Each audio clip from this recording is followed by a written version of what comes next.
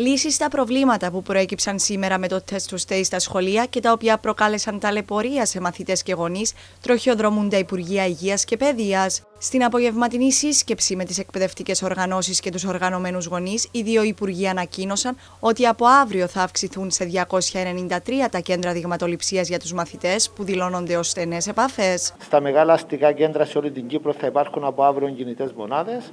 Άρα ήταν ένα αίτημα και των εκπαιδευτικών και των γονέων. Αυτό το αίτημα θα λύσει αρκετά προβλήματα. Ελπίζουμε τα συγκεκριμένα τα μέτρα να είναι καλύτερα, σε καλύτερη κατάσταση ε, αυτή την εβδομάδα, έτσι ώστε οι γονείς και τα παιδιά να μην έχουν κάποια επιπρόσθετη επιβάρηση στον χρόνο τους και τα παιδιά να επιστρέφουν πιο γρήγορα στις τάξεις τους. Την ίδια ώρα, το Υπουργείο Υγείας ετοιμάζει πλάνο Β και πλάνο Γ σε περίπτωση που η στελέχωση των σχολείων με κινητέ μονάδες δεν επιφέρει τα επιθυμητά αποτελέσματα. Έχουμε μιλήσει με, τα, με την πρόεδρο των φαρμακοποιών. Τα φαρμακεία είναι έτοιμα να βοηθήσουν, αλλά από τη στιγμή που θα πηγαίνουμε σε όλα τα, στα, στα περισσότερα σχολεία δεν υπάρχει ανάγκη αυτή τη στιγμή.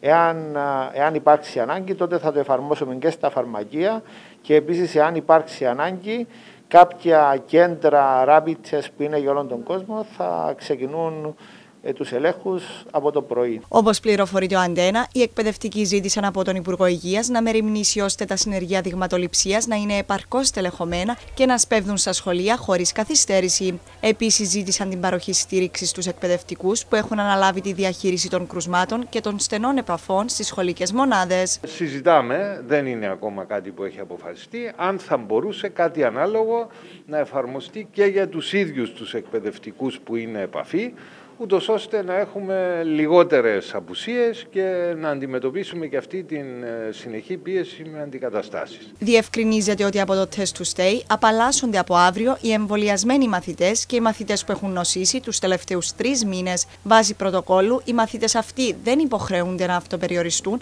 αλλά θα πρέπει να υποβάλλονται σε ράπιτες την τρίτη και πέμπτη μέρα από την επαφή με το κρούσμα.